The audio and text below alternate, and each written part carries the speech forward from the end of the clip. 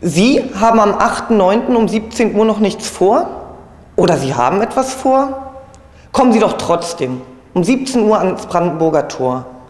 Dort demonstriert die Linke gegen den Krieg in Afghanistan. Die Vorfälle am Wochenende, der Präventivschlag auf einen Tanklaster mit zivilen Opfern sind Grund genug, noch einmal deutlich zu machen, Bundeswehr raus aus Afghanistan. Die politisch Verantwortlichen gehören abgewählt. Aber nicht deshalb demonstrieren wir, sondern vor allem, damit der Krieg endlich aufhört. Also, wir sehen uns am 8.9. um 17 Uhr am Brandenburger Tor.